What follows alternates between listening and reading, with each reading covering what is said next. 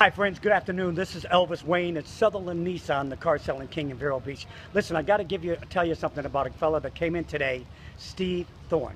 This guy is a great, great educator. He's not a motivational speaker, he's an educator. Education. Go check out stevethorne.com TV.